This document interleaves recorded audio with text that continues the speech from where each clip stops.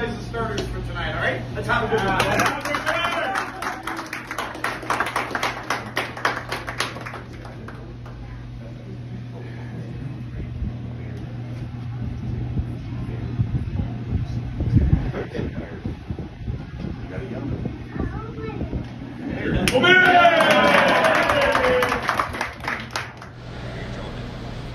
He's posing.